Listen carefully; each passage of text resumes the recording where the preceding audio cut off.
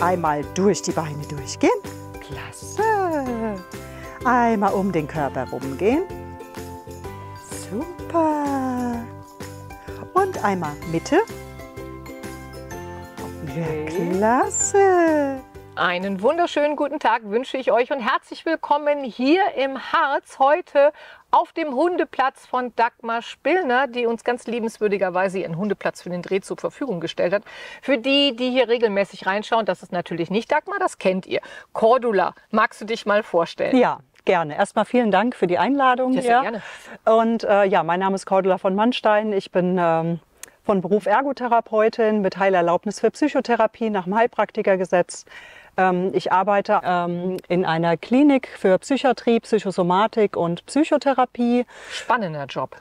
Genau, ja. Und äh, Emilia kommt mit mir mit. Ich bin Fachkraft für tiergestützte Therapie und äh, ja, auch Hundetrainerin.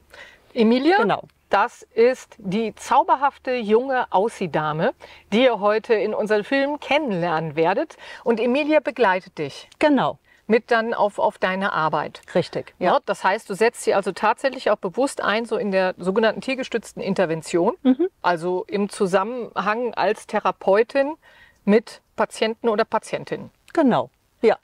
Und dieses Setting ist ja tatsächlich gar nicht immer so einfach, weil man leider sehr häufig mitbekommt, also ich komme ja aus dem Schulhundebereich, ich bin da Ausbilderin, das heißt, ich sehe das auch immer wieder, bekommt man leider sehr häufig mit, dass die Hunde halt irgendwie als Streichelobjekt, mehr oder weniger Kuscheltier eingesetzt werden. Ja. Da kriege ich tatsächlich immer einen über mich. Und deswegen haben wir gedacht, wir reden heute mal ein kleines bisschen über den Umgang mit dem Hund und was der halt mit dem Menschen so machen kann und worauf man ein bisschen achten sollte.